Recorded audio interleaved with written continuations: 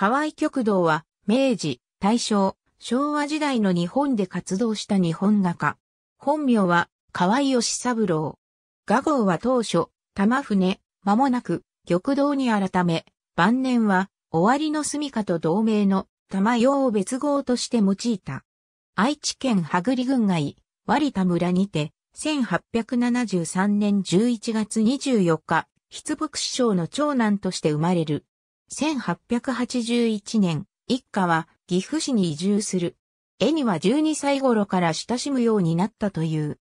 1886年、京都の画家、青木泉橋が岐阜に来住すると、婦人も緑品と号する美人画家で、吉三郎少年は、青木夫妻の地遇を得て、大いに刺激を受けたという。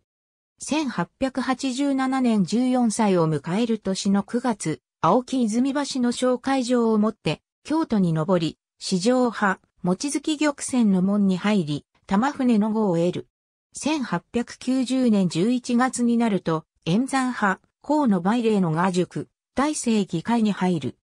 同年、春慶軍猿図、秋、慶軍六図の連作を第三回内国官業博覧会に出品して、早くも入選を果たすと、これを機に、玉堂に会合した。玉堂とその妻、富1949年撮影1896年23歳の時に上京して、橋本画法に指示する。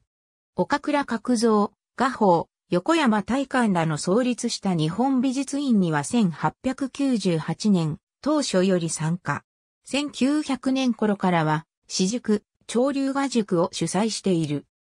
1907年には、第1回文典の審査員に任命され、また、1915年からは、東京美術学校日本画科教授、1917年6月11日には、提出議芸員に任じられ、日本画壇の中心的存在の一人となる。1931年には、フランス政府からレジオンドヌール勲章を授与された。1933年には、ドイツ政府から赤十字大一等名誉賞を授与された。1940年には、日本政府から文化勲章を授与された。玉霊園にある玉堂の墓第二次世界大戦中の1944年、かねてより射精で頻繁に訪れていた東京都西玉郡三田村を竹に疎開し、住居を玉代、画室を随権と称した。戦後も同地の自然を愛する玉堂はそのまま定住し、同地にて1957年6月30日、心臓喘息で死去した。像、小像位、君一等旭日大受賞。神奈川県横浜市金沢区には1917年頃に建設した別邸に昭案があり、横浜市指定有形文化財として月1回の一般公開もなされていたが、2013年10月16日に発生した火災で全焼してしまった。二昭安庭園は2016年11月4日付で横浜市の名称に指定された。日本の四季の山河とそこで生きる人間や動物の姿を美しい墨線と彩色で描くことを得意とした。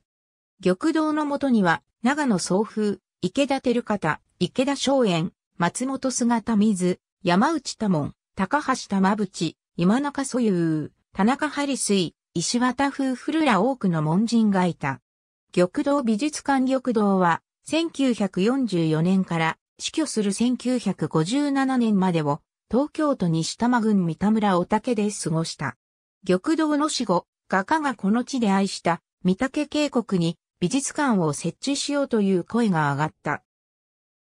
高順皇后の支援のもと、諸団体、地元有志、並びに全国の玉堂ファンから多大な寄付を受け、死後4年を経た1961年5月に玉堂美術館が開館した。二日月、ありがとうございます。